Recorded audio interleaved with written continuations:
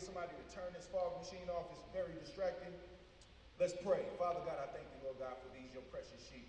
I thank you that revelation knowledge flows freely, uninterrupted, and unhindered by any satanic or demonic force.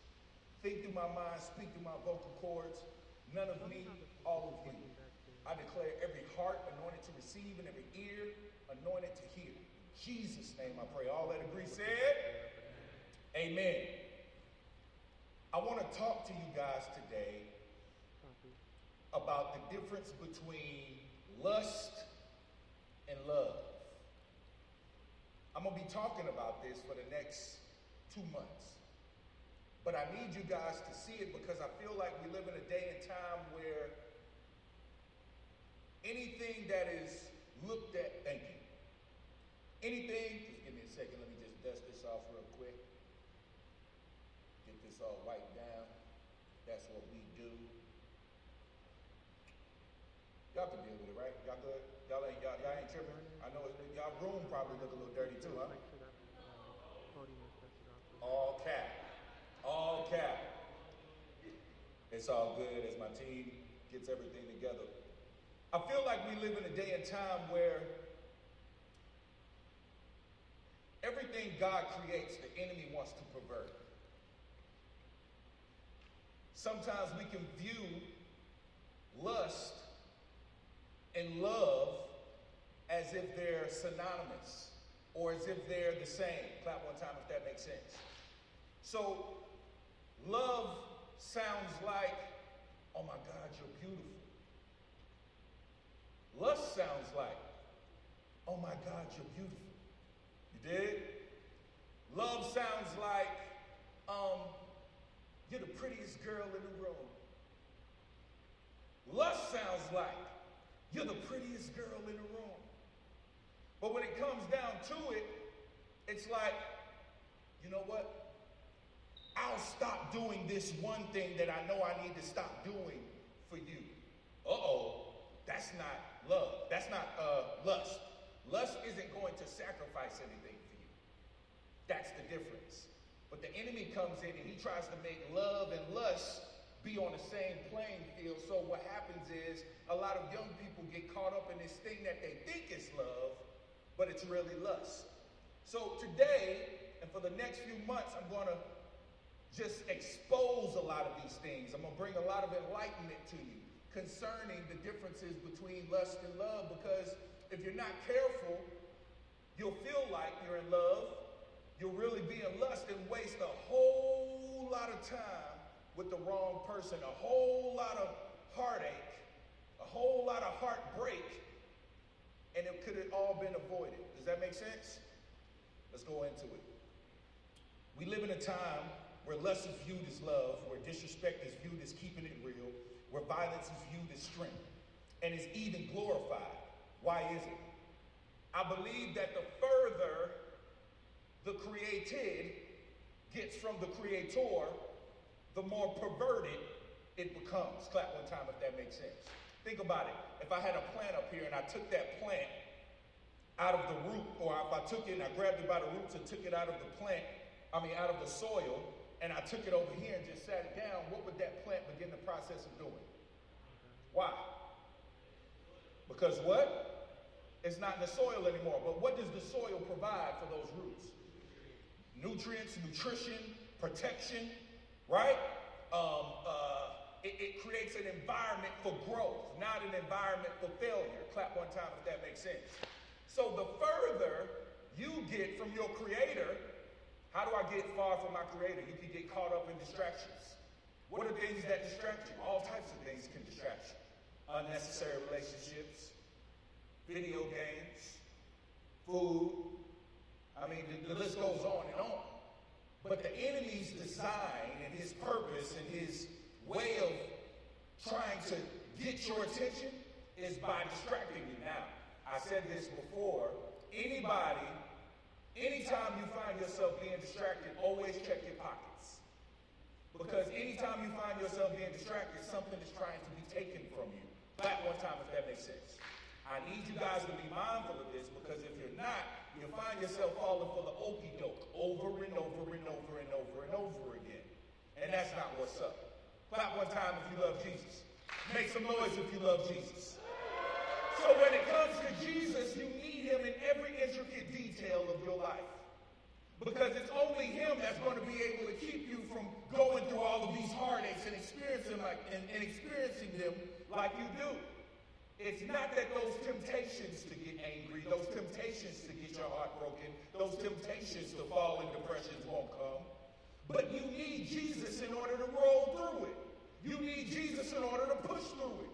Without him, we're nothing. Without him, we're just like that plant that's been pulled out of the soil. Clap one time if that makes sense.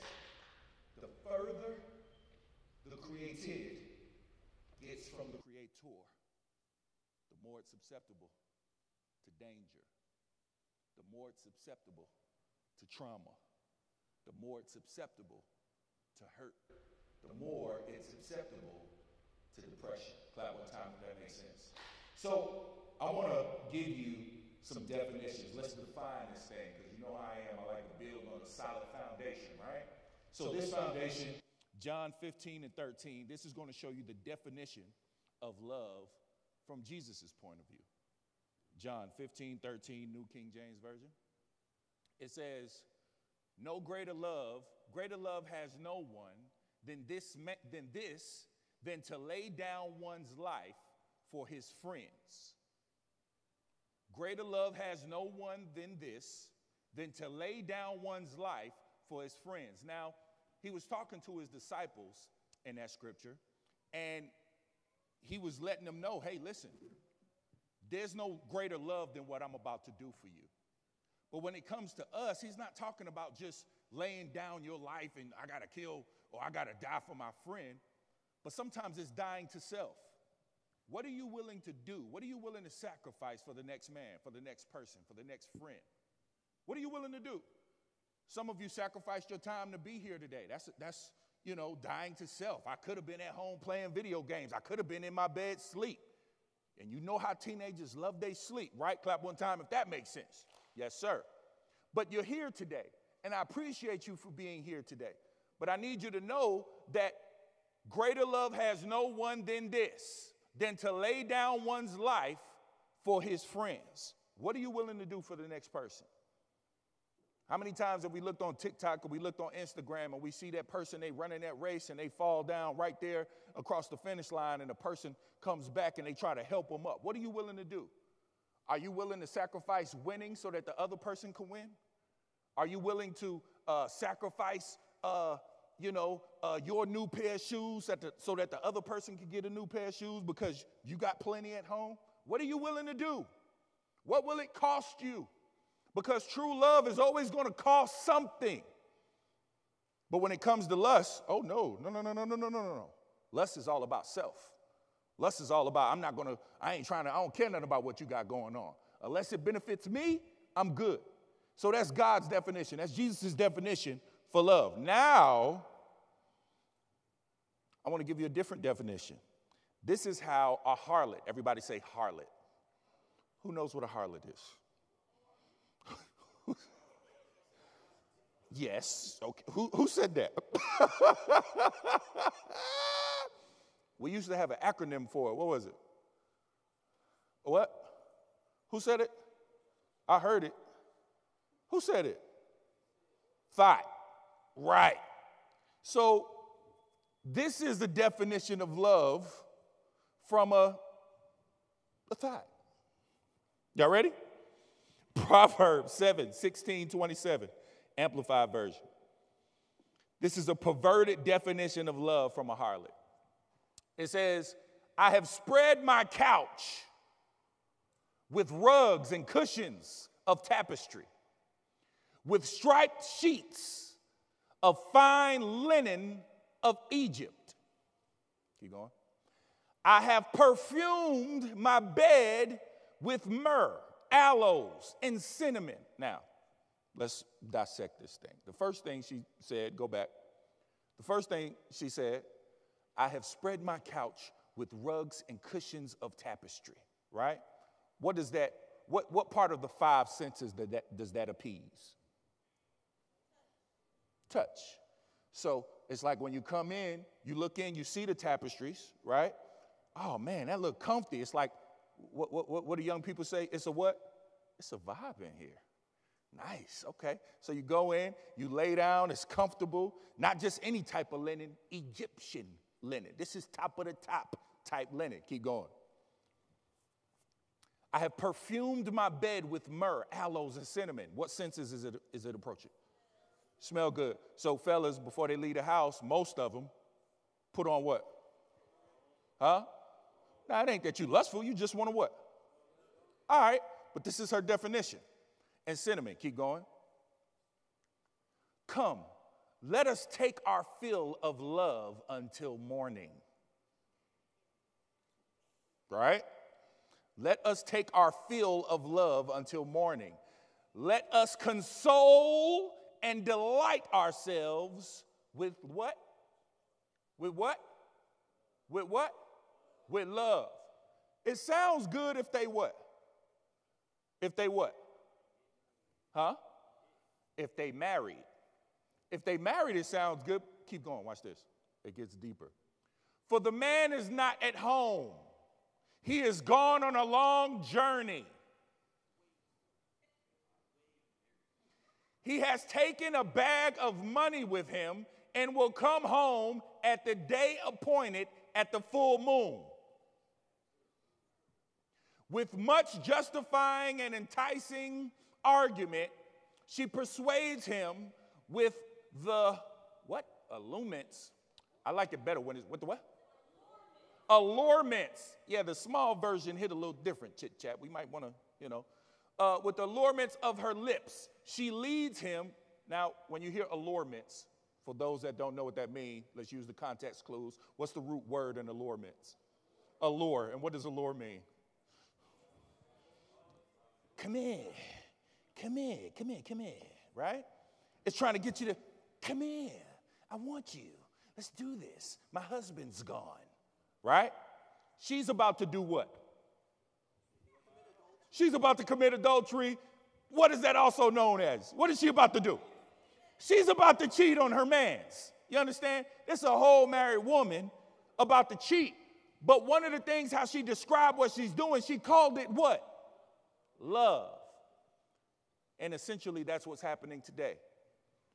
We call lust love because it appeases our five senses. We like what we see, we like what we hear, we like what we what we smell, we like what we what we touch, we like how you look, we like the way you walk, the way you talk, and you get so caught up in these things that you miss a whole you miss a whole person.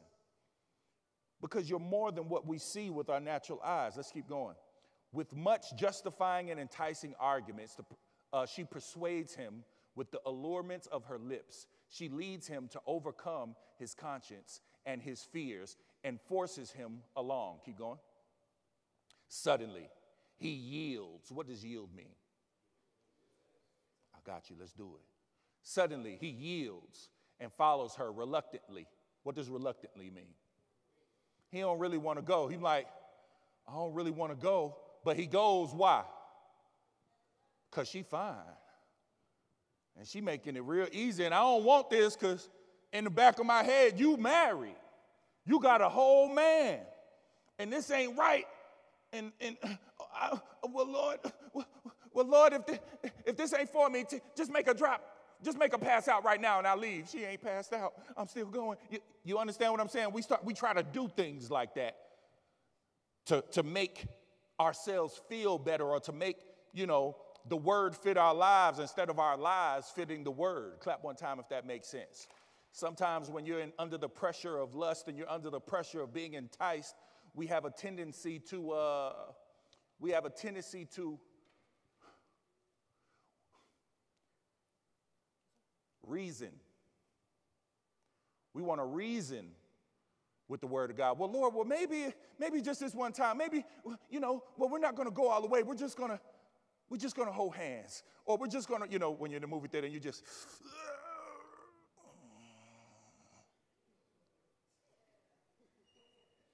right? Or you're in the movie theater and you just, you watching the movie, you watching the movie, but you ain't thinking about the movie. What you thinking about? Fellas, you in a movie, you watching a movie? Do my breath stink? I know I just had some popcorn. After about 40 minutes, if I ain't ate nothing, my breath starts stinking. I need a mint. Let me pop one. All right. All right. I wonder if she feeling me. I wonder if she feeling me. Put my hand on her thigh.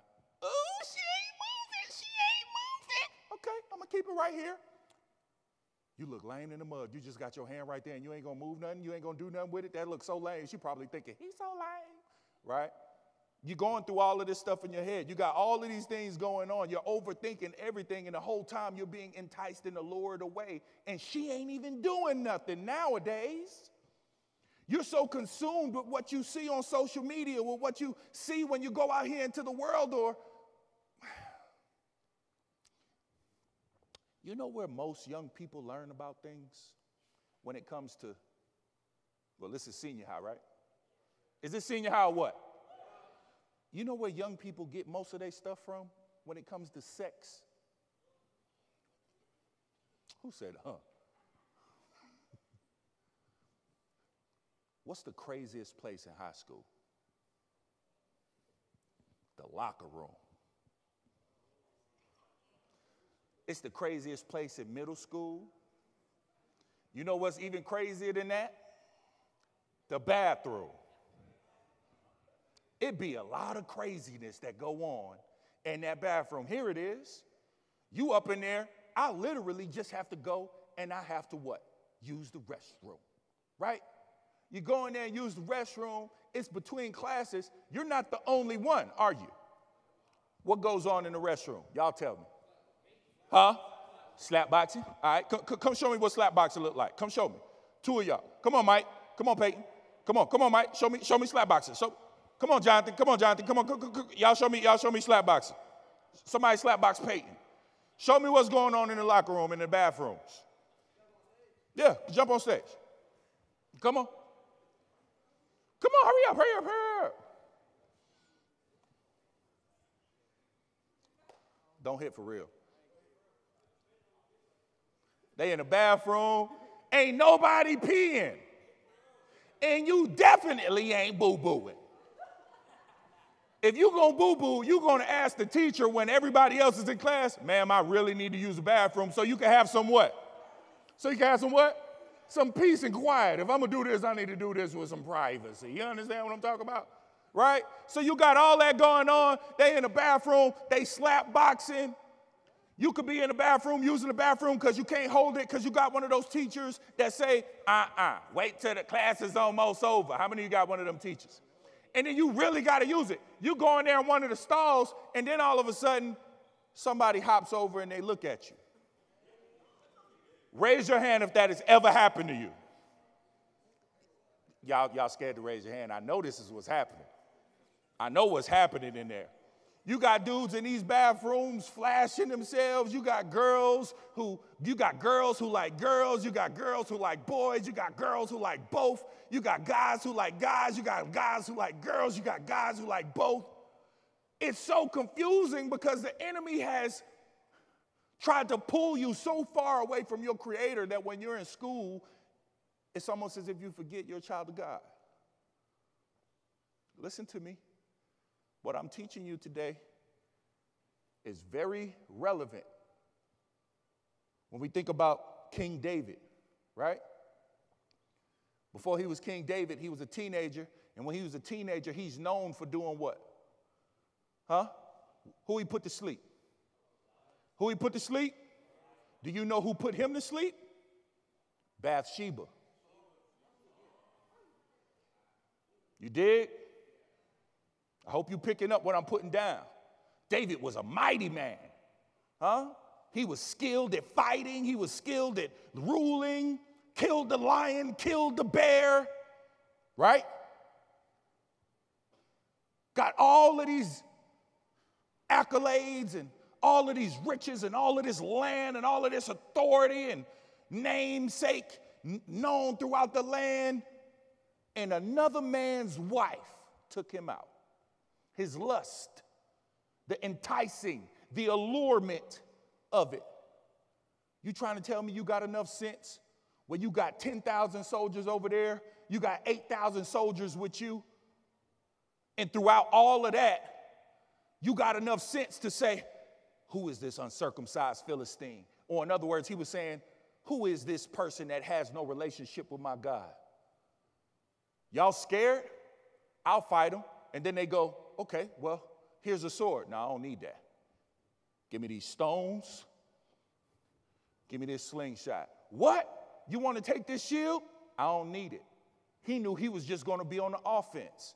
He went out there and slayed that giant and freed thousands of people from having to die that day in the war. He had enough sense to do that. But we're talking about something called lust that brought him to his knees. I'm gonna show you some scriptures and show you how it went down, not only from him, but it went down into his children as well. Are you with me? You need Jesus. You need Jesus to be able to withstand Bathsheba or to be able to withstand the lust of the world and the lust of the flesh. I need, Lord, I need you. I can't do this without you. I can't believe in you without you. I need you in every, every shape, form, and fashion. Lord, I need you. Help me. Help me. I need your strength. Because you say, when, when I'm weak, you're strong, and, and, and, and no weapon formed against me shall prosper, and every tongue that rises up against me shall be condemned. But I can only do that through and by you. So, Lord, I need you. I invoke you. I consider you in every intricate detail of my life. I have these natural feelings in my body because man is a, man is a, you possess a, and you live in a. So when you get saved, what part of you got saved? The spirit part of you got saved. The soul part of you remains the same and constantly has to be renewed. Clap one time if that makes sense. The spirit part of you is just like Christ. The spirit part of you is perfect. The spirit part of you is sealed up. But the soul part of you and the body part of you is out here in this world and it's like, okay, what's up? What we got? Who choosing today? I've been in the gym, I've been working out, arms looking a little different. Can't walk by a mirror without stopping a little bit. You understand what I'm saying? Look at him. Uh, uh, who that me? What up, though? You go to these football games, you go to these basketball games, you go to the mall, you go to school where other people are around. Sometimes it's not peer pressure, sometimes it's peer what? Presence. It's just the fact that people are around. So someone outside of you gets to look at what you get to look at in the mirror. And hopefully you accept it. But see, acceptance, just like you were accepted by God, and you remember that feeling of being accepted by Him, so the enemy tries to come in and show you a world's way of acceptance. So you get out here and the girl go, mm. Not just mm, how I do it. Mm, with the stank face. Because what mm, what that mean? That could mean a whole lot of stuff, couldn't it? Mm. Mm. What you mean, ma? what you mean? Mm. You look good. Oh, appreciate it, appreciate it, appreciate it. Sometimes y'all say appreciate it before somebody even give you a compliment because you know you look good, right? You come in, what up, what, what up, appreciate it, appreciate it. Huh? What'd you say appreciate it for? Oh, I thought you said I look good. Anyway, uh, what's up, man? We're going, you know, you're just so caught up on the things that you see whole time the enemy sitting up there working and he trying to work you. Boom, boom, boom, boom, boom. He's trying to bring all types of thoughts your way. Oh, girl wants you. Or even for the ladies, oh boy wants you. Huh? He wants you. You're looking good. Your edges, you spent just enough, just enough time getting them crispy and swirling and pointy and, and symmetrically perfect. So they look the same on both sides, right? And he's he's noticing it. That soul part of you starts to, ooh, I like the way this feel. Acceptance, approval, allurement. Curiosity comes in. I want to see what's going on. I want to see what that's about. Whole time, Holy Spirit inside of you, like, be careful. That young man has a spirit that's been trying to follow him all his doggone life. I'm still working on him. He may be the one, but not right now. Young people don't like to hear that word, not right now. Why? Why don't young people like hearing not right now?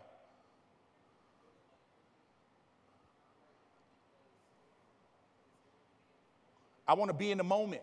I want to do it. I want, I, want, I want to feel this right now. How come, right, how come I got to wait till I get older? How come I got to wait till I'm ready? You never see a fruit on a tree complain about not being ripe yet. Pastor Ant, fruit can't talk. But think about what I'm saying to you. If you take a fruit off of a tree and it's not ripe, when you bite into it, what type of experience do you have? It's bitter. Likewise, in life, when you take something and you try to involve yourself in it before its due season, before its due time, you get a bitter experience. Well, Pastor Ant, how you know? I had the bitter experience. Four kids, all of them good. My baby just went to the prom. She getting ready to graduate uh, uh, in a few weeks, right? Everything's good. But Pastor Ant, when he was younger, it's like, okay, I got lured away. Okay, I wanted to break up with what I thought I knew. I knew I wanted to be with Constance, but it's like, yeah, I love you, but yeah, yeah, I'll come back to this. I'll be back. And I went out and I had Junior and Trail. And I had Junior and Trail, and it's like me and his mom was just friends. We weren't even really like that.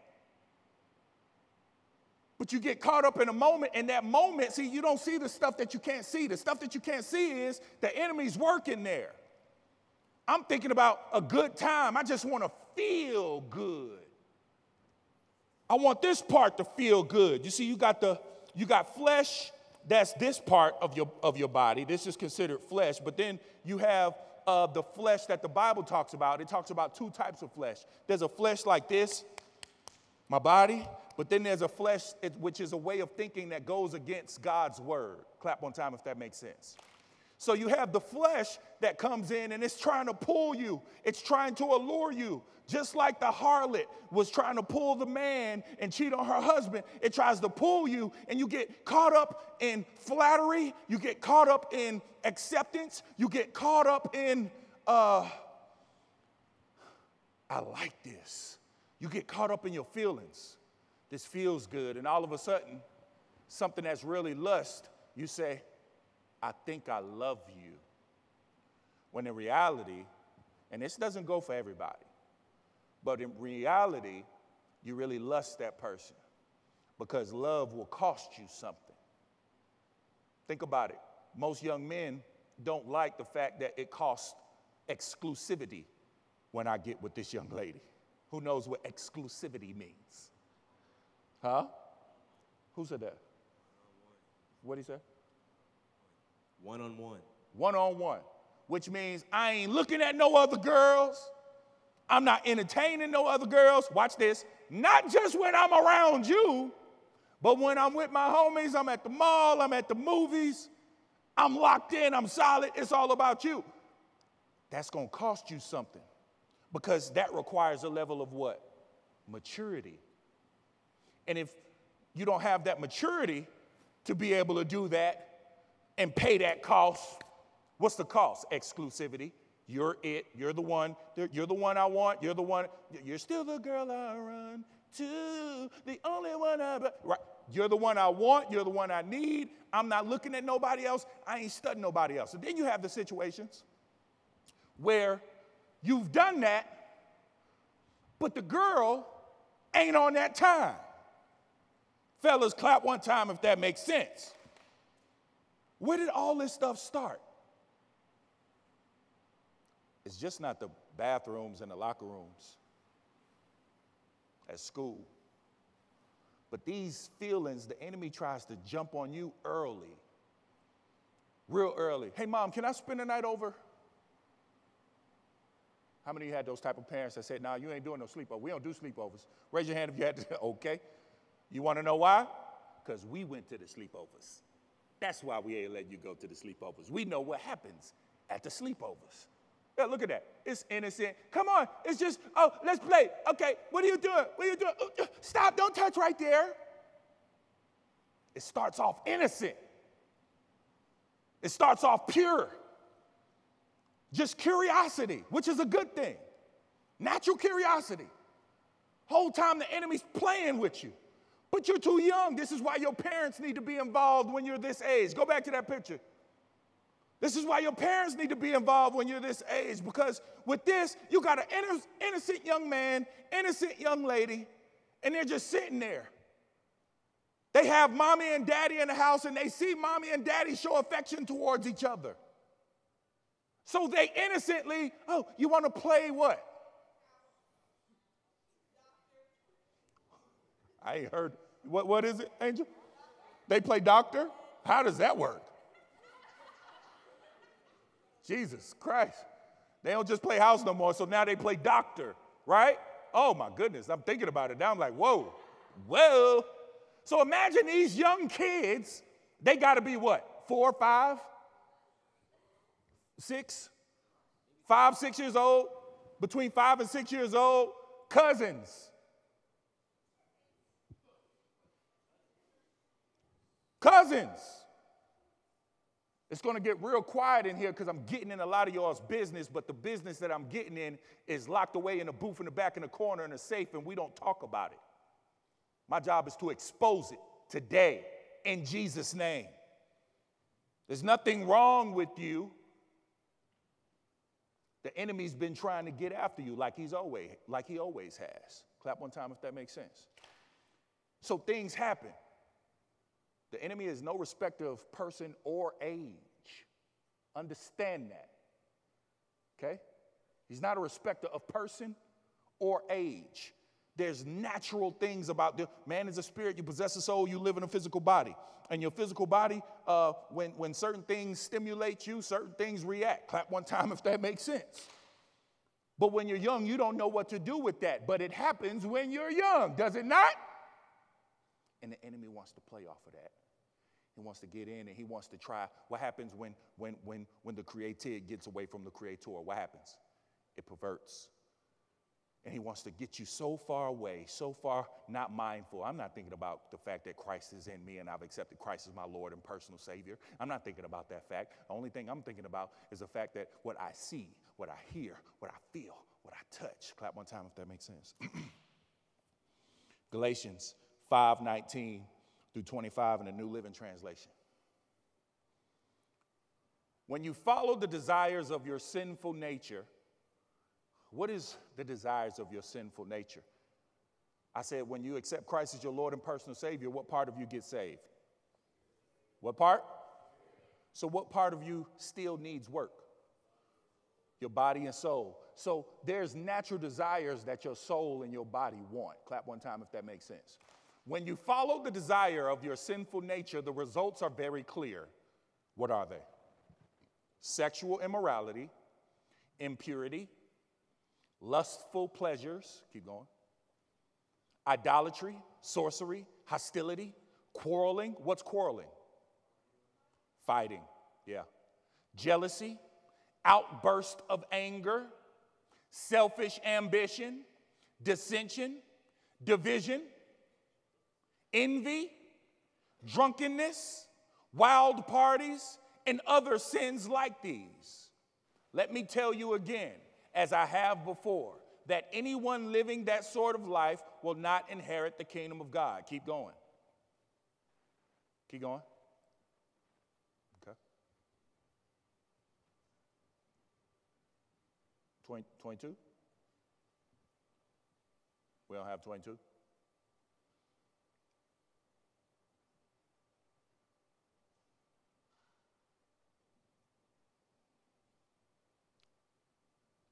Give me a sign, give me a signal.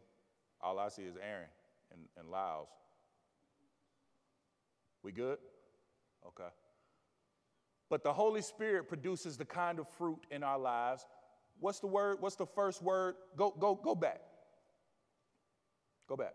Envy and drunkenness, wild parties, and other signs like these. Let me tell you again, as I have before, that anyone living that sort of life will not inherit the kingdom of God. Now go to the next verse. But, what does but do? But the Holy Spirit produces the kind of fruit in our lives love, joy, peace, patience, kindness, goodness, faithfulness, gentleness, and self control. Somebody say self control. Somebody say self control. And self control. There is no law against these things. Keep going. 24. Those who belong to Christ Jesus have nailed the passions and desires of their sinful nature to his cross and crucified them there. 25. Since we are living by the Spirit, let us follow the Spirit's leading in every part of our lives. In what part? In what part? Does that mean when it comes to boyfriend and girlfriend? Does that mean when we just talking? Does that mean when we just choosing? Does that mean when we at home and our parents give us chores to do? Does that mean when we doing our homework? Does that mean when we're eating? Does that mean when we're sleeping? It means every part of your life you need Christ. I need you to get this. Because somehow, some way, the enemy has convinced a lot of believers that Christ is lame. Make some noise if you love Jesus in this building today.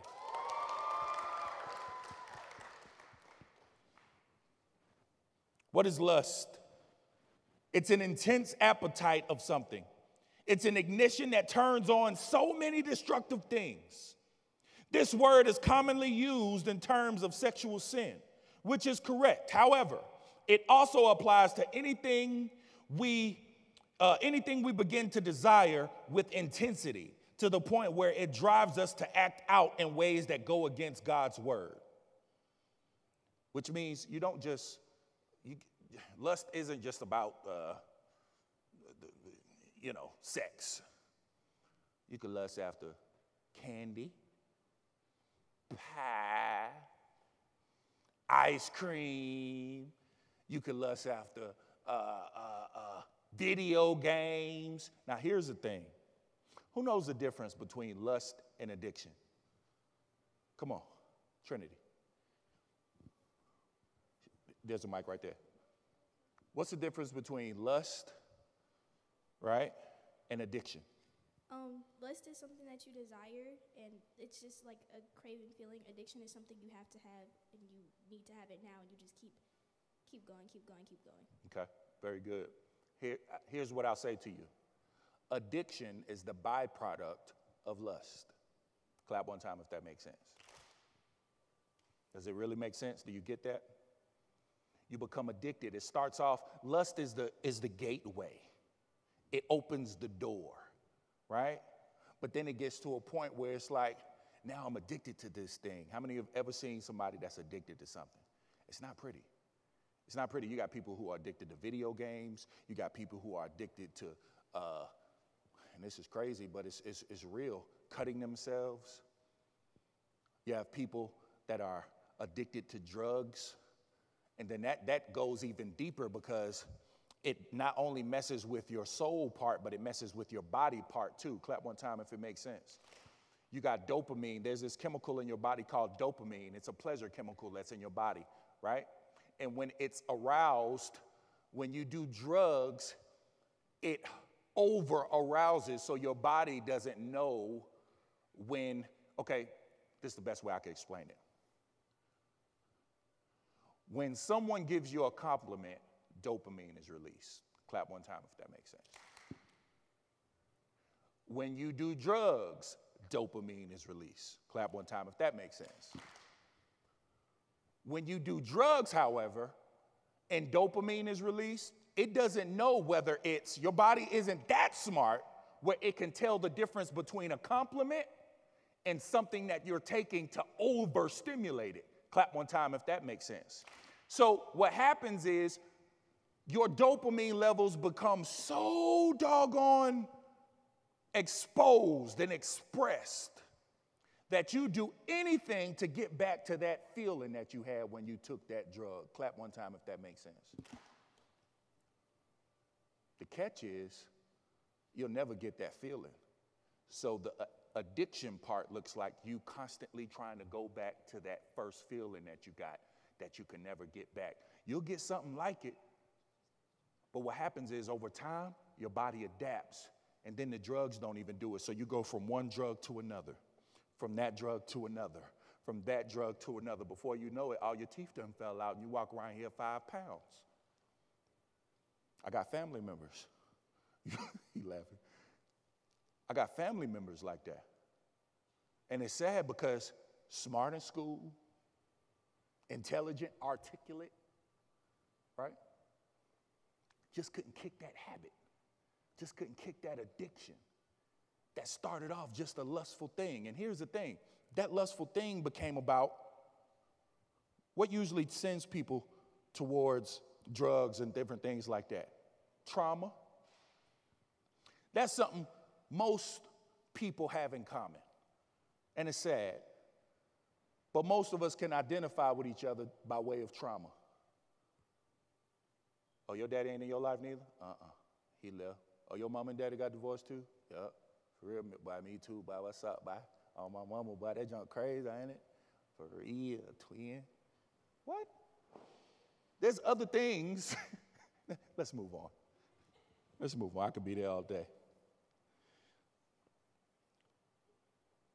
The biblical definition of temptation, a situation in which one experience a cha- experiences a challenge to choose between fidelity and infidelity to one's obligations towards God. A situation in which one experiences a, challenge to choose between fidelity and infidelity to one's obligations towards God. What does that mean? Who can explain it to me? What is fidelity and infidelity? Uh, fidelity is like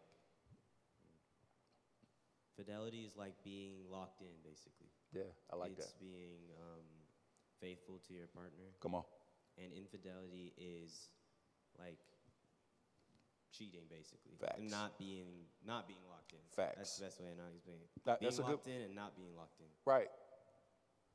So it's a situation in which one experiences a challenge to choose between fidelity and infidelity to one's obligations towards God. What does God say? God say sex is for what? Huh? Husband and wife is for marriage. But everything about this world says, bro, you got to try it before you buy it, bruh. Bruh. You only live once. That's the biggest bunch of crock I've ever heard, ever heard before in my life. You don't only live once. I wake up every day. You only die once. Clap one time if that makes sense. You only live once. The, enemy still trying to do the same thing he tried to do in the garden. He tried to make Adam and Eve feel like they were what? Missing out on something. Which is the same thing he tries to do with you. He tries to make you feel like you're missing out on something. And then you get so deep in these relationships, it gets to the point where, you know, uh, uh, a, young, a young man could be dating a young lady and a young lady got issues, or a young lady could be dating a young man and a young man got issues, or both of y'all got issues, right? And, and it's like the young man goes, I can change her. I can, I- see something in you. I can fix that. All of a sudden, you the Holy Spirit. Where they do that at? On earth. Why they do that? Because I got a good heart and I mean well, but sometimes because of my immaturity, I misappropriate my calling. Sometimes because of immaturity and curiosity, I mismanage my purpose. When you don't understand the purpose for a thing, you'll abuse it. Clap one time if that makes sense. You can't be tempted with what you don't think about. What you mean, Pastor Ant? What that mean? It mean you can't be tempted with what you don't think about. You got to start watching what's going into your eyes, what's going into your ears, what's going into your mouth. Why I got to start watching that? Because if you don't, those things will get down into your heart, and before you know it, you're moving and grooving like somebody God did. God didn't create you to be this way. What happened to you? When God came into the garden with Adam and Eve and he said, Adam, where are you? He wasn't looking, talking about his location. He was talking about where are we? We, we not where we was. What's up? We good? Where you at? Because you're not positioned where I put you. You're positioned in a place that can leave you vulnerable and that can eat you up if you're not careful. Tell me you didn't eat of that tree. You understand what I'm saying to you? It's dangerous out here, y'all. Y'all think it's just cute.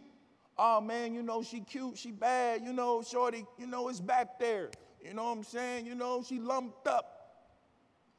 Or the girls, oh, he, oh, oh, oh, oh, he dark skinned, because you know, light skin ain't his style no more. He dark skinned. Am I right? Am I right? Huh? What'd you say, Devin? You said we ain't never going outside. Light skin power. I know what I'm talking about. Right? But dark skin went out of style though, didn't it? go ahead, old man. Let's go to James 1 14, 1 14 through 18 in the NIV.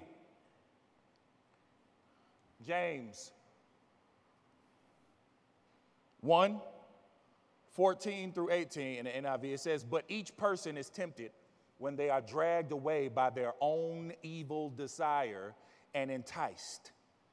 Then, after desire has conceived, it gives birth to sin. And sin, when it is full grown, gives birth to death. Now, I've taught this all the time. Death in the Bible doesn't always mean a natural death. What does it mean? Separation. I'm separated. Separated from what?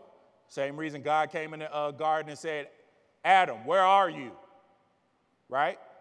It's a positional thing. Then, after the desire has conceived, it gives birth to sin. What does conceived mean? You got a, you got a, you got a, a part where the baby's born, but then you have a part where the baby's conceived. What does conceived mean? Huh? When it first goes in, this part. So let's read the scripture again. Then, after desire has conceived, it gives birth to sin. And sin, when it is full grown, gives birth to separation. Keep going. Don't be deceived, my brothers and sisters. That's what he's telling you. Every good and perfect gift is from above, coming down from the Father of the heavenly lights, who does not change like shifting shadows. He chose to give us birth through the word of truth, that we might be kind, that we may be a kind of first fruits, all of all he created.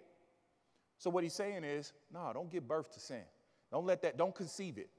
It's unconceivable. How many have ever heard that? It's unconceivable. I don't even want to conceive that.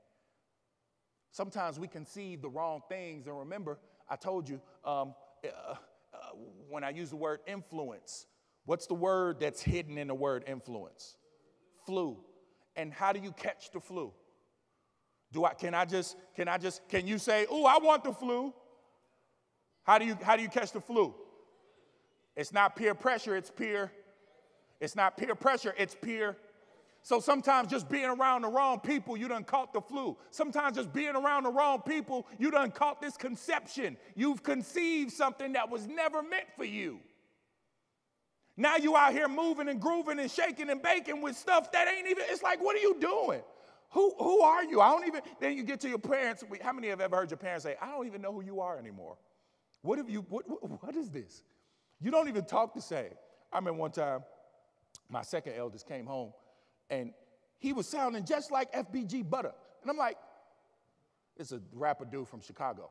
And I'm looking like, why you keep talking like that? Who, who, who, who, who, who you trying to sound like?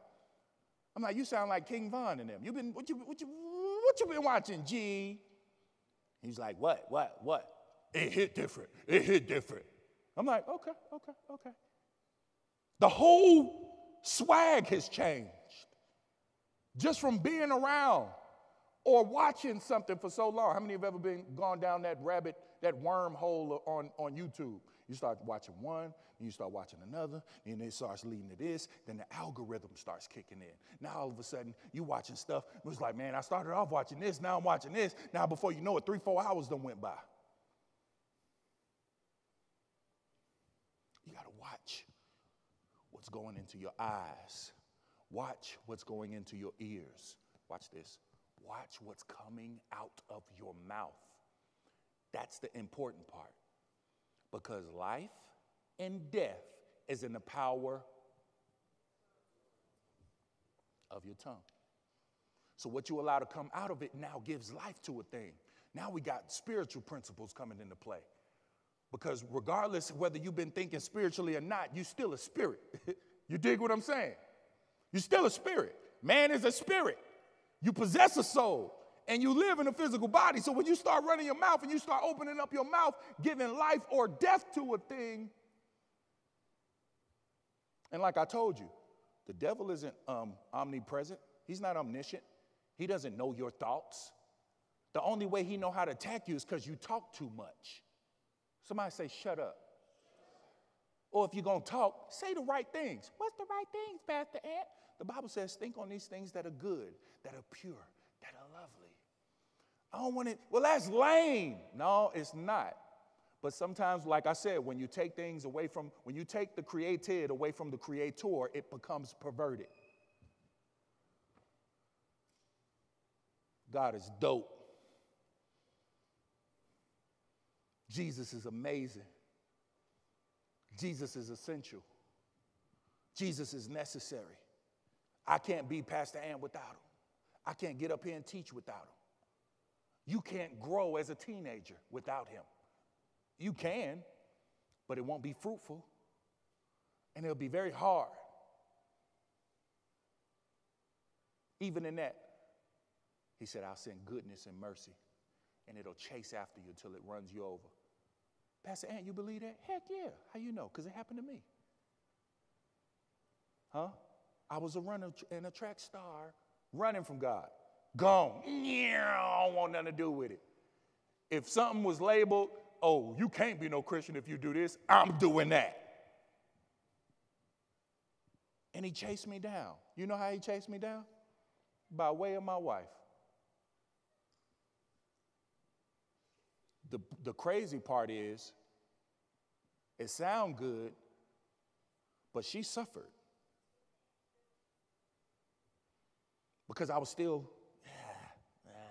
I was on drugs, I was, yeah, it was a lot. It was a lot.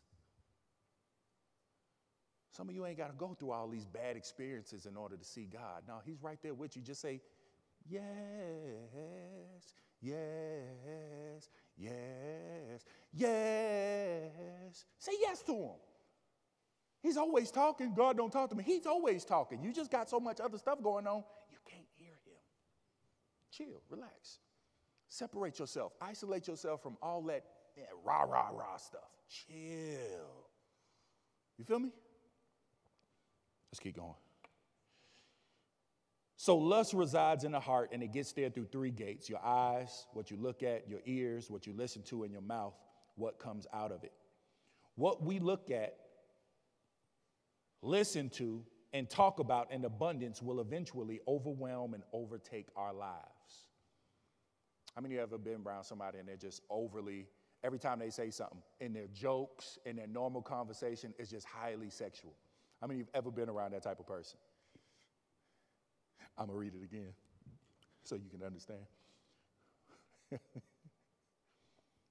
what we look at, listen to, and talk about in abundance will eventually overwhelm and overtake our lives.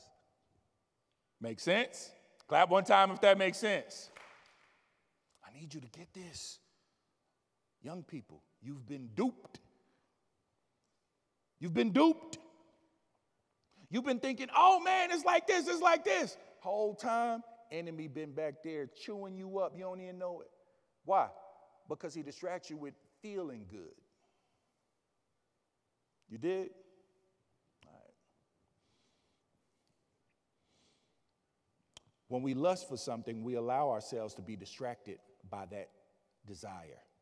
It begins with the thought and progresses to a mindset and ultimately takes action.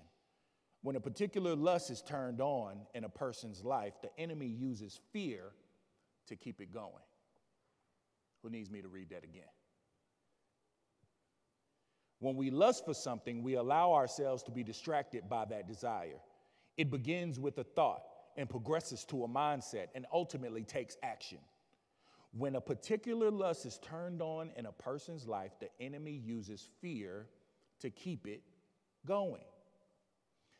There's this, uh, I was talking about David earlier, right?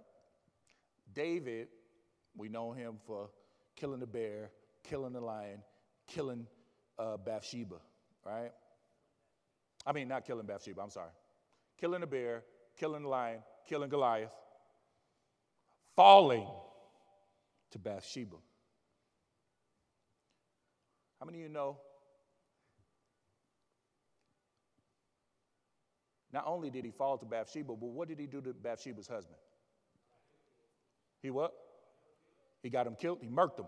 How'd he do it? He set him what? He set him to the front of the battlefield and then pulled all of his support troopers away from him. Ain't that messed up, bro?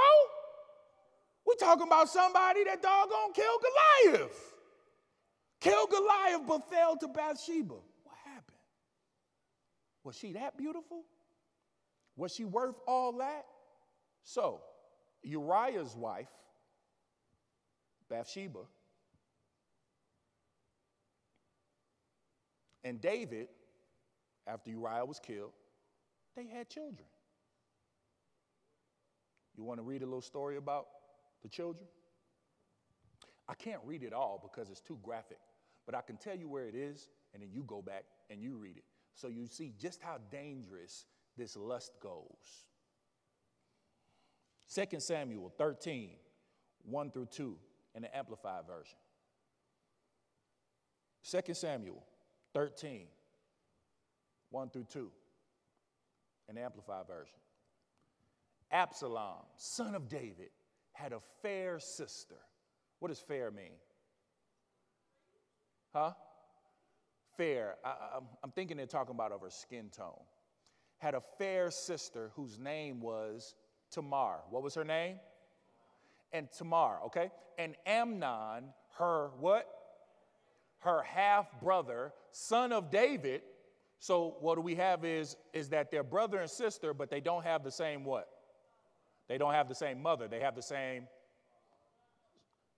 but that don't matter. Right? Keep going. Oh, hold up.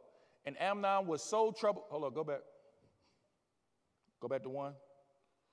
David had a fair sister whose name was Tamar, and Amnon, uh, her half brother, son of David, loved her. Loved her. Somebody say, loved her. Okay, keep going. And Amnon was so troubled that he fell sick for his half sister Tamar. For she was a virgin, and Amnon thought it impossible for him to do anything to her. Somebody say, uh oh. But Amnon had a friend whose name was Jonadab, son of Shimeah, David's brother. And Jonadab was very cra- was a very crafty man. He said to Amnon, why are you, the king's son, so lean and weak, looking from day to day? Why are you so weak looking from day to day? Will you not tell me? And Amnon said to him, I love Tamar, my half, my half brother Absalom's sister. Jonadab said to him, Go to bed, and I'll stop right there. Uh, take that off. Cut it. You can take it off screen. Take it off screen. Take it off screen we got to get to a point where it's just touch the button and it go. Unless you explain afterwards, it's a delay, Pastor Ant. Then we'll get showbiz to fix it. Praise the Lord. All right. So go back and read that story. How many of you want the verse? 2 Samuel 13, 1 through 2. Just read it all the way through. This lust got so deep, it made his physical body sick to the point where he lost weight. Over who? His sister, bro. You feel me?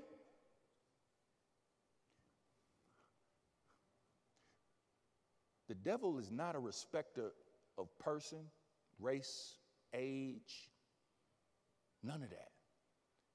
When he come, he to come.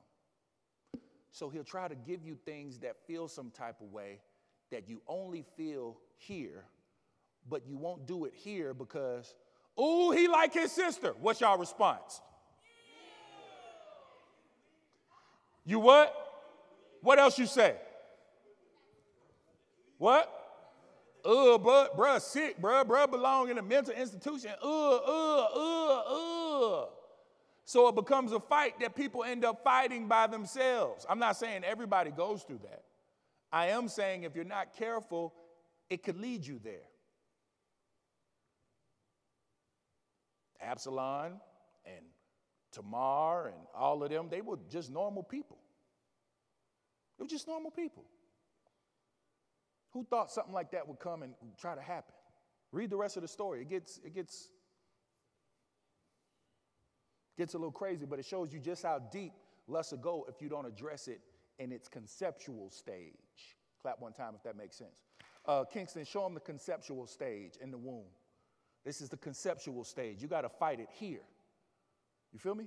You got to stop it there. You got to address it there. Okay? And it ain't even got to be on no weird stuff. It could just be on just, man, you know what? I'm too attracted to this. So I've been watching this site a little bit too much and I've been going heavy in it. I've been going crazy in it. You got to stop it here to the point where you have to rebel against that thing. Ooh, I'm watching it. Nope, I ain't gonna watch it. I'm gonna go for a run. I'm gonna go jog. I'm gonna go jog. I remember uh, Dr. Dollar shared this story. He was a teenager. Uh, well, he was in college. And uh, he had, you know, become a, a devout Christian, believing in God and different things. And there was this girl, and, you know, she was like old girl that I read at the beginning, the harlot, that was like alluring and enticing him. He was like, Lord Jesus, I love you, I love you, I love you. He ain't know nothing about no World Changers. He ain't know nothing about uh, 2500 Burdett Road or uh, uh, Creflo Dollar Ministry. He ain't know nothing about none of that. All he knew was Jesus. He was in the car, and it was about to go down. He said, Ant, I got out that car and I just took off running. I said, In the middle of it? In the middle of it. He said, Well, it wasn't in the middle of it because I ain't let it get there. He said, But it was about to be the middle of it. It was about to be the beginning of the middle of it. Yeah.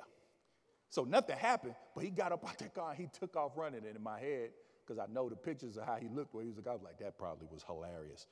But he had to take off running. I'm gonna close with this. I want to show you the differences between lust and love in contrast.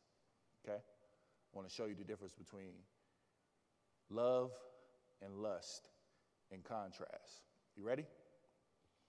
Lust is pleasure focused, love is person focused. Clap one time if that makes sense. I'm gonna say it again. Lust is pleasure focused, love is person focused. Number two, lust takes, love gives.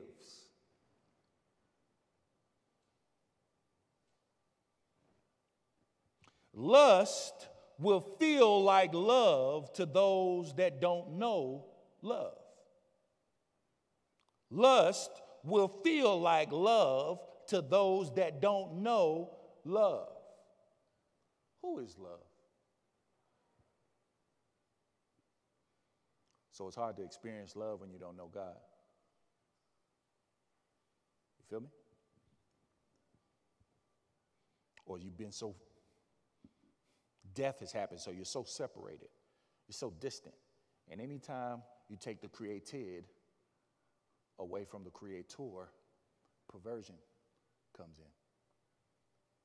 So it's like you and Jesus got to be like this joint at the hip. He's in me, he's on me, he's around me. You feel me? I can't, I can't be me without him. It's got to be that serious. It has to be that important. It has to be like breathing. Clap one time if that makes sense. Lust is passion outside of godly morals and parameters. Love is passion within godly morals and parameters. Lust feeds off of bad friends. Love needs good mentors. And then finally, lust makes people sick. Love makes people whole. I'm going to say it again. Lust makes people sick. Love makes people whole. What does whole mean? Well, nothing missing, nothing broken. Right? I need you guys to really hang in there with me on this journey as we go through the differences between love and lust because I'm going to be on it for a minute. And I want to show you because there is a way. I'm not trying to say, you don't need to be dating. It's not what I'm saying. I'm saying if you are going to date, there's a way to do it. Chaz, I had sent over a video. I'm not sure if we still got it. I know I sent a lot of stuff and you was doing a lot this week. So if you got it, cool. But. No. no, not that one. Not that one. Not that one. Ew. Not that one.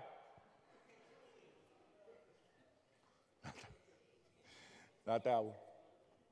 Nah, it's uh I sent it in the power team.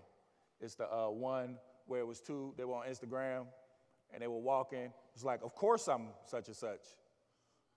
You know what I'm talking about? If you got it, cool. If not, it's all good. Um, but there's a way to date as a believer.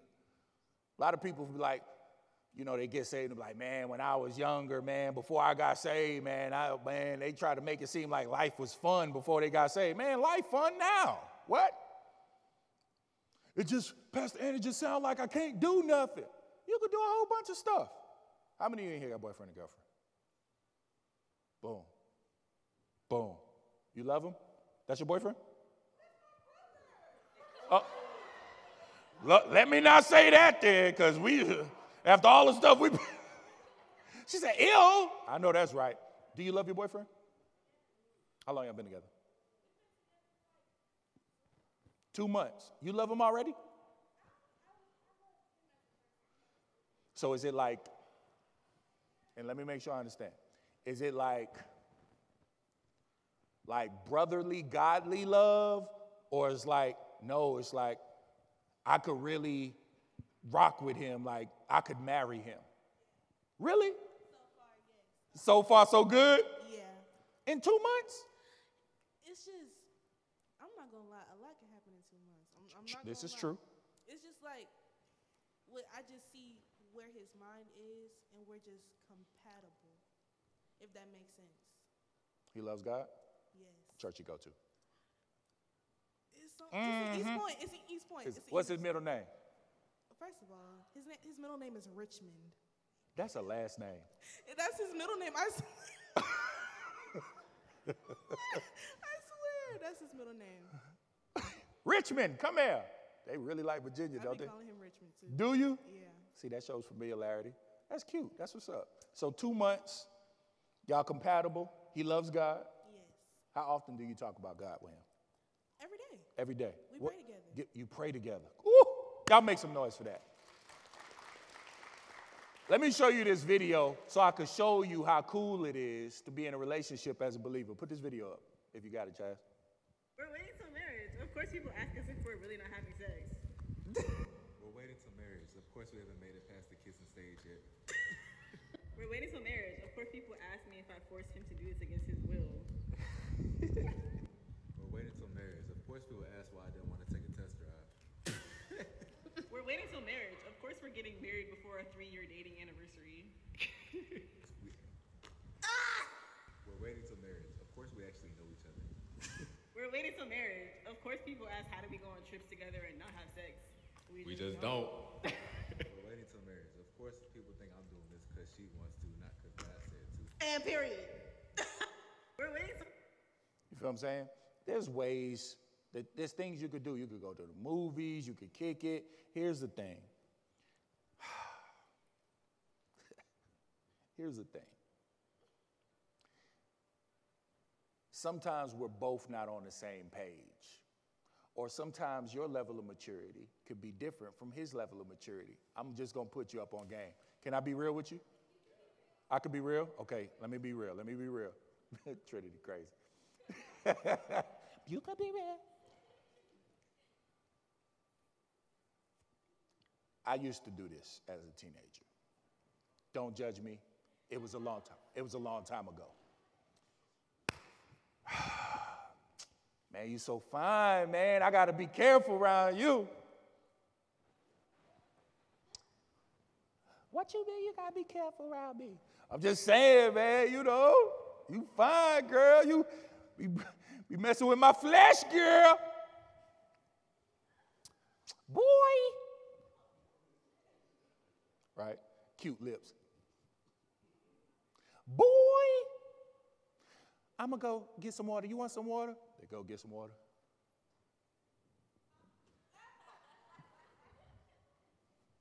There you go, there you go, there you go. And you go through about 40 minutes of going back and forth with that. Why are you playing with yourselves like that? What, you, what are you doing? It's about to lead to something. Before you know it, oh my God, I can't believe it. We need to pray together. Oh my God. Y'all sitting there half dressed praying together.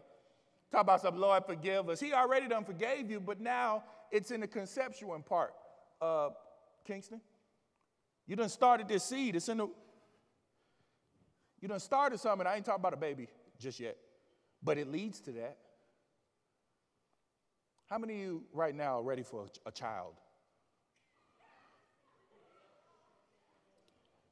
Who's is somebody raising their hand? Who is that back there? Oh my gosh. There's always one. really? I'm not, I ain't even gonna put you on Front Street like that. I ain't gonna do you like that. Father, forgive him. Father, forgive him for he knows not what he does. I'm gonna have one of, uh, is that Mike Rosser back there? Yeah, put him up on game, Mike. He don't know. He don't know. He think he ready, right? How old are you, Kenny? 16. 16, and he got a mic already. Lord have mercy. Help us. He's 16. He raised his hand. He said, man, I'm ready for a kid. What make you think you're ready for a kid? You still 16. You still a kid. I don't know. I just, I'm ready. Why you say that? You don't even know why. You just, is it because you feel like you're ready? Yeah, yeah. How many of you know that it takes more than a feeling? So that means you're ready to get married? Really? You got a job? What's your credit score? what's your What's your credit score, Kenny? Uh, like, uh, boy, you ain't got no doggone credit score.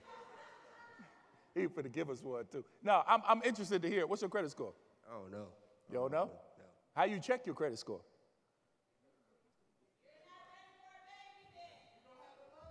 He don't have the money. I do got the money though. You got the money though? Yeah. How much money you got?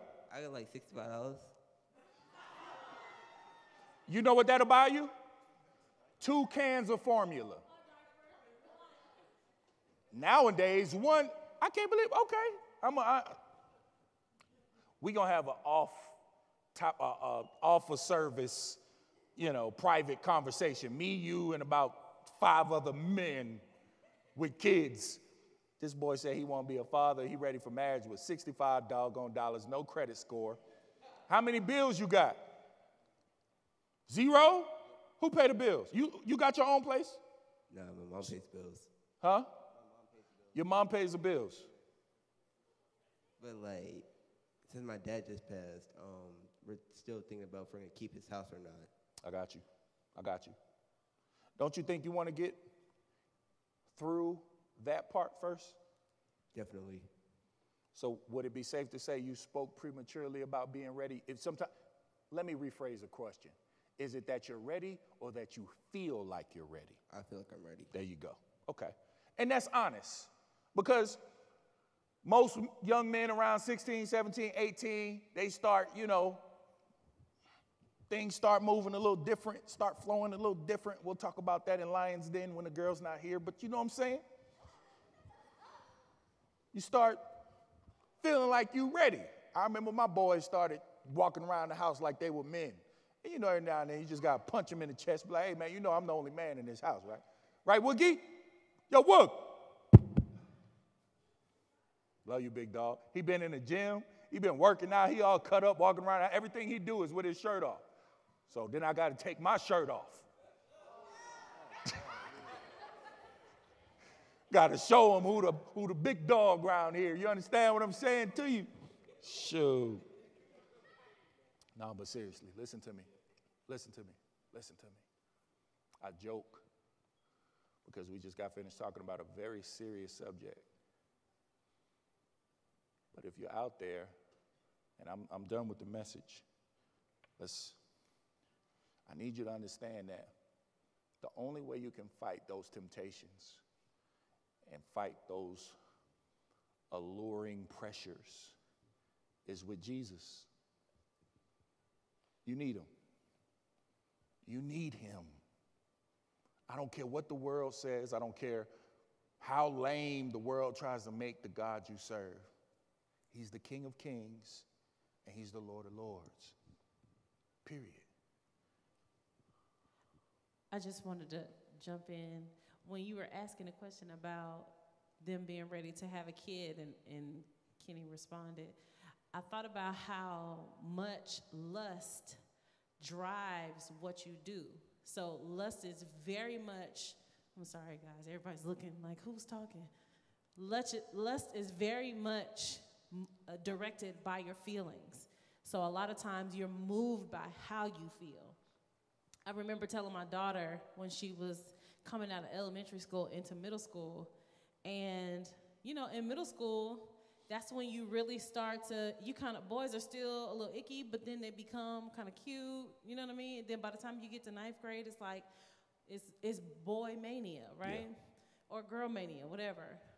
But I remember telling my daughter, like, you think you like this one boy, but you're gonna see another boy who looks cute and smells good, and then when you get in their presence, you'll feel an attraction or you'll feel a sensation. We can go deeper, girls, in PGR.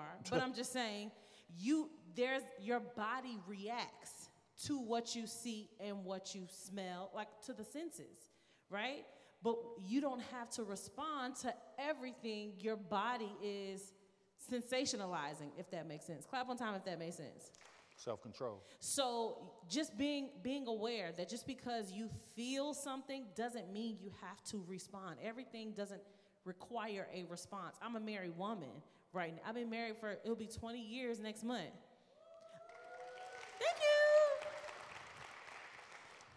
you. We have to practice even as married people. We still have to practice self-control. I'm not blind.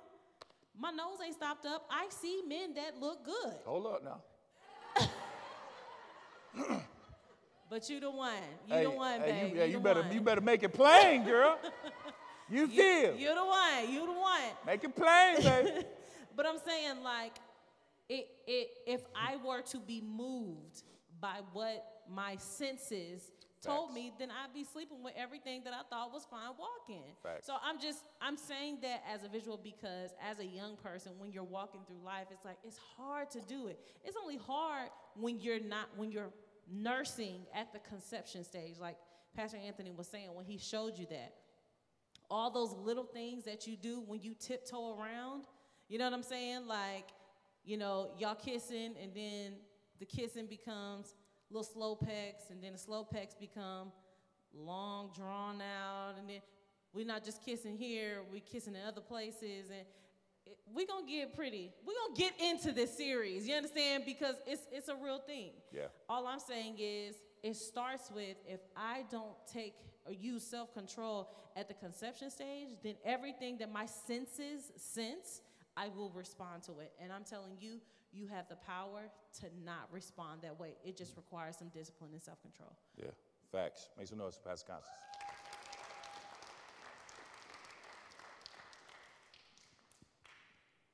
When we were doing the renovations in here, one, do you, do, you, do you guys like the renovations that we did in this building? Praise God, man. We got new cameras, we got new equipment, we got new lights, we got new sound, we got new screens. But one of the reasons that I wanted us to go over to the fellowship hall is because I needed you guys to experience the presence of God without all these things. And we did several times. And it wasn't about the location, it was about you choosing Him. And the same way you chose Him over there is the same way you choose Him each and every place you go, through every situation in life. You need Jesus. Stand to your feet. Let's uh, turn the lights in the audience down. I want you guys to let's. Man, I ain't no singer, but I love Jesus. You are holy, holy. Are you Lord God Almighty? Worthy is the Lamb, worthy is the Lamb. You are holy, Holy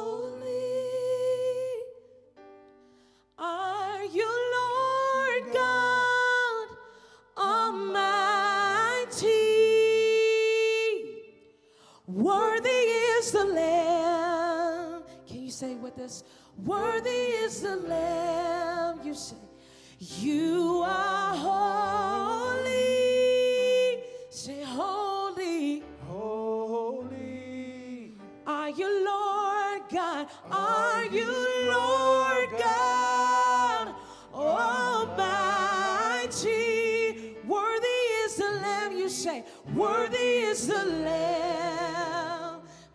Say say. Worthy is the Lamb. You are holy, say. You are holy, holy, say. holy. Are you Lord God? Are you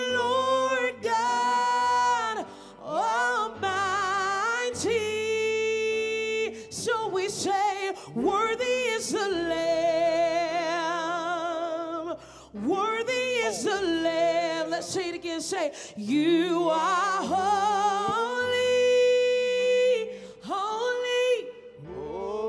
Holy, We declare, Are you, are you Lord God Almighty? We say, Worthy is the Lamb, worthy is the Lamb. Come we on. say, Worthy is the Lamb, worthy is the Lamb. Come on. Worthy the Lamb, worthy is the Lamb. We say, worthy is the Lamb. Come on, let's say it together. Worthy is. Worthy is the Lamb. Say, Holy is the Lamb. We say, Holy is the Lamb. Holy is the Lamb. Say, Holy is the Lamb. Holy is the Lamb. Yes, sir. Holy is the Lamb. Now say, Worthy is the Lamb. We say, Worthy. is the Lamb. We voice and we say, Worthy. Worthy is the Lamb. We lift our voice, we say, Worthy. Worthy is the Lamb. Worthy is the Lamb. Say, Worthy is the Lamb. now can we say, Holy is the Lamb? Say, Holy is the Lamb. Holy is the Lamb. We say, Holy is the Lamb. Holy is the Lamb. We say, Holy is the Lamb. Holy is the Lamb. Holy is the Lamb. Listen, there's going to be times when it seems hard to choose God. Sometimes you got to create this type of atmosphere in the middle of the restroom, in the middle of the locker room, uh, on your way to school, in the car, in the middle of that argument when you seem to be misunderstood by your parents and you're going back and forth. They're screaming, you're screaming. It's just chaotic. Sometimes you need to just go, Worthy is the Lamb. Worthy is the Lamb, we say, Worthy is the Lamb. Come on, let's lift our hands and sing it together. Worthy is the Lamb. Lift your hands to Jesus. Come, Come on, on. just tell God, Come on. say, Worthy is the Lamb. Worthy, you're worthy. Worthy is the Lamb. Worthy is the Lamb, we say. Worthy is the Lamb. Come on, let's sing to Him. Say, Worthy, say, Worthy is the Lamb. I give you everything because you're worthy. Worthy is the Lamb. I give you everything because you're worthy. Worthy is the Lamb. Worthy is the Lamb. Worthy is the Lamb. Worthy is the Lamb. Say, worthy is the Lamb. Worthy is the Lamb. Worthy is Now the let's say it. Say, holy is the Lamb. We say, Holy is the Lamb. we join with one voice, with one sound of Holy worship. is the Lamb. Holy is the Lamb. Holy is the Lamb. Holy is the Lamb. Holy is the Lamb. Now, right where you you are, can you just worship God in your own way? Come on, you can say, Lord, I love you. Lord, I honor you. Lord, I adore you because you're holy. You're holy. You're worthy. We worship you, Jesus. We give you everything, Jesus. It's all about you.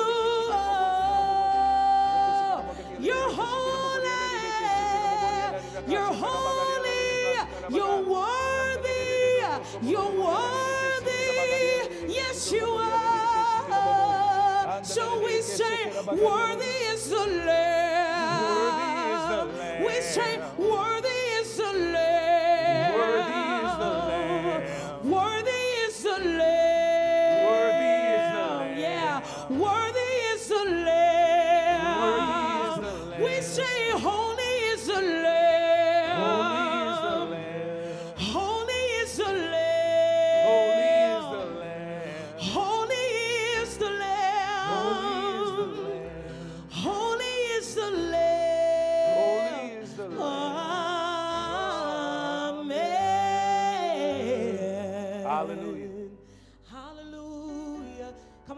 take a moment to worship Him right here in your own way.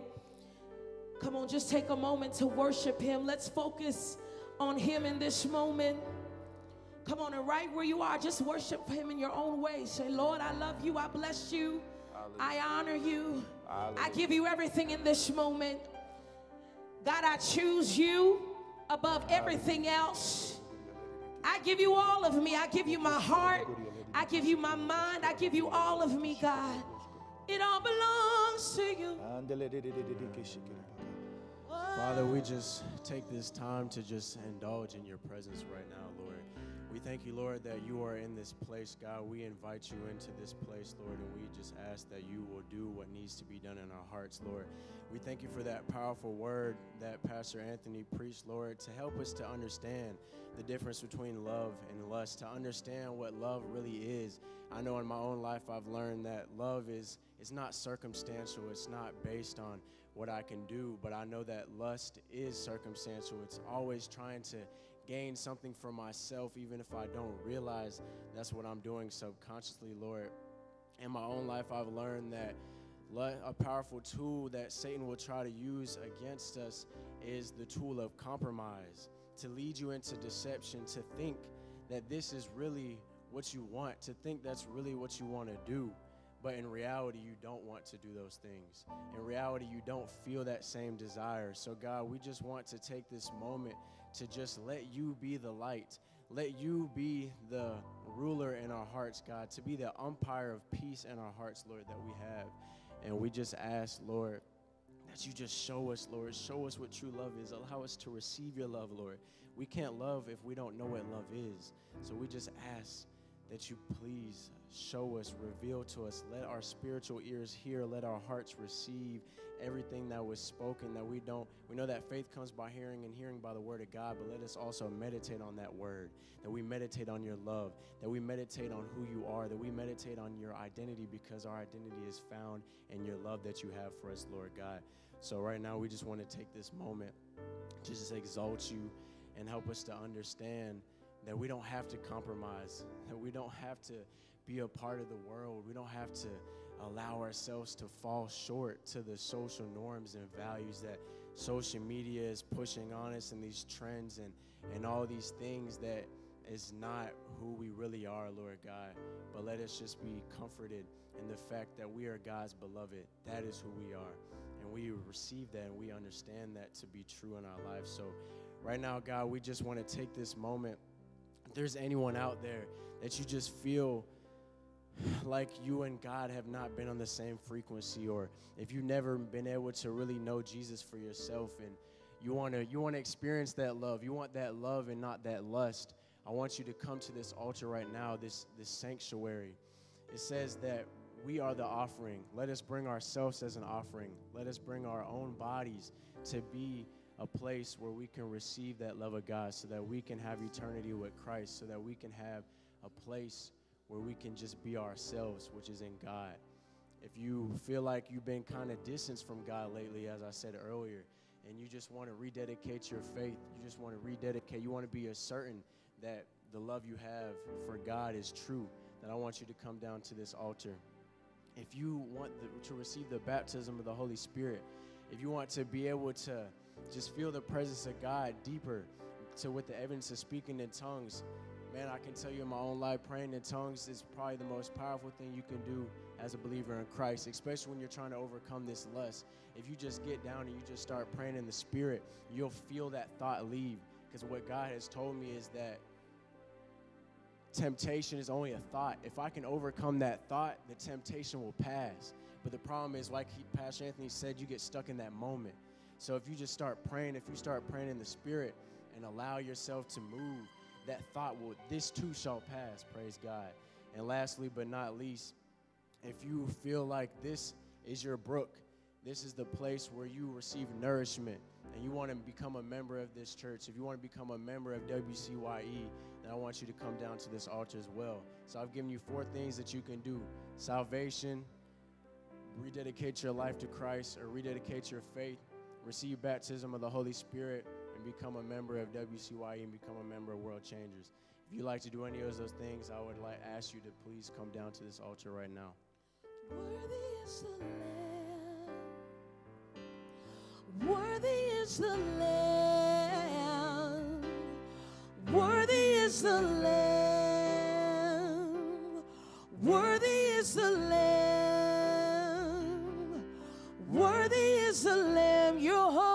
Say, You are holy. Come on, let's tell him, Holy. Say, Holy. Are you